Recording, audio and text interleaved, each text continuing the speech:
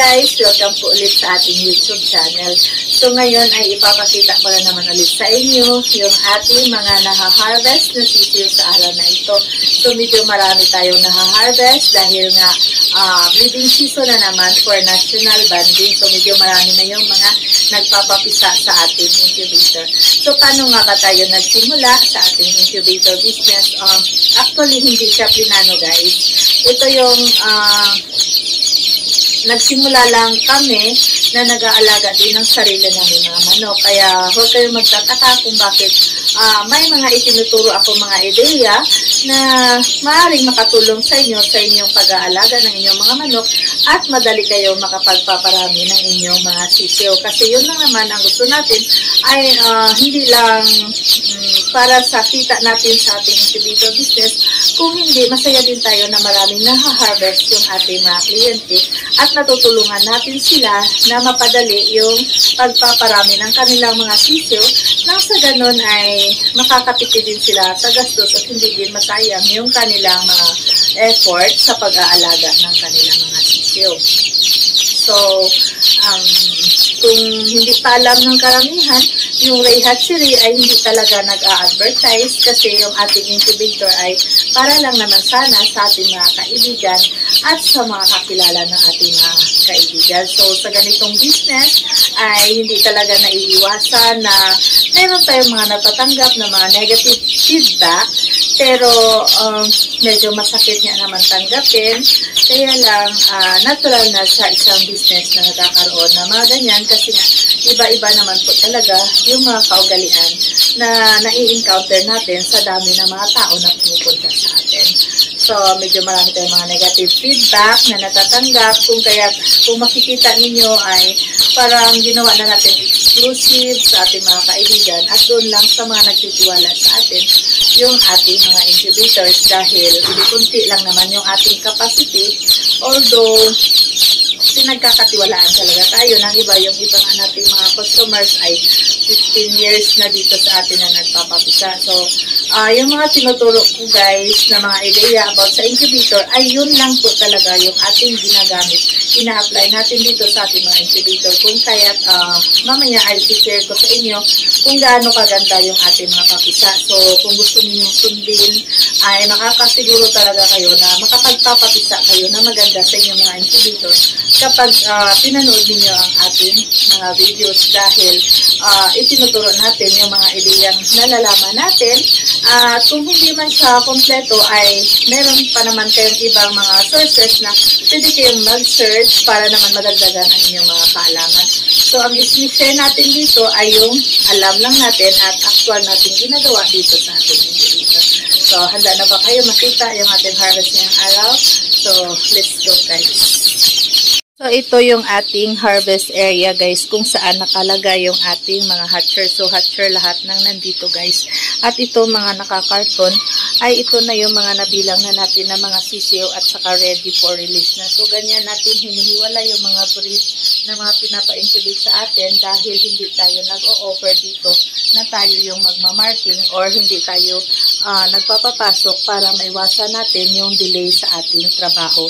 So, naka-ready na lahat ng mga sisiyo sisidlan. Ganyan yung mga uh, nilalagyan natin ng kanila mga sisig. So, free na ito siya guys, yung mga sisidlan.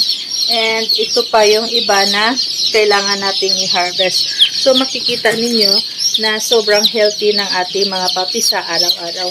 So, ayan siya guys, nakadepende talaga sa itlog yung percentage ng hatchability ng inyong mga uh, pinapa-incubate. So, merong mga nagtatanong kung ilan ba daw yung hatching rate ng ating incubator. So, ang sinasagot natin ay nakadepende po talaga siya sa inyong mga itlog.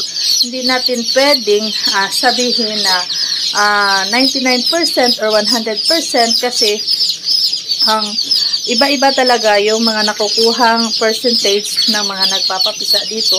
Depende sa kung gaano kalalim yung kaalaman nila sa pagbibreed ng kanilang mga manok. So, nakikita ninyo guys, itong sako natin ay puno na ng mga eggshell. So, ganyan kadami yung ating mga pinapapisa dito sa ating incubator. Kaya, kung gusto ninyong uh, magkaroon din ng magandang papisa, ay tingnan ninyo ang ating ibang mga videos dahil mayroon tayo mga binibigay na mga tips para magkaroon kayo ng ideya kung ano yung magandang ginagawa sa isang incubator para magkaroon tayo ng maraming papisa.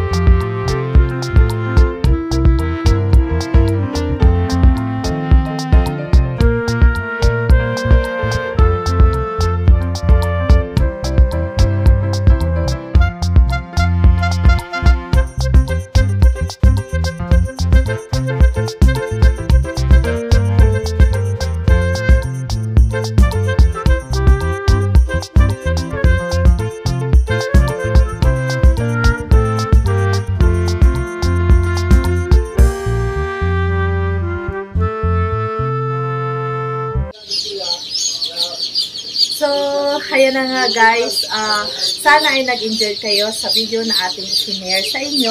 And sa mga nagtatanong po kung paano po natin na-maintain ang ganitong papisa, sensya na po kayo at may client po tayo na nag-pick uh, up ng kanyang sisiyo. So, medyo maingay po sila. So, paano natin nagagawa yung ganito kagaganda ng mga sisiyo? Simple lang man po ay kailangan po ay marunong po talaga tayo sa pag-ooperate ng ating mga incubator. So, sa atin dito ay palagi po tayong nag-check kung mayroon pong mga nag-malfunction sa ating mga aparatos. Kaya nga po, uh, napakagastos po natin talaga sa maintenance. Kung kaya kailangan po talaga natin na maningil po ng bayad sa ating pag-incubate. So, ah, kailangan din po ay nagpupuyat tayo sa pag-monitor dahil kapag po nag-fluctuate po yung temperature at hindi po natin na-control, ay sigurado po na maluluto po yung mga itlog at maaaring mamatay po yung mga sisiyo sa loob.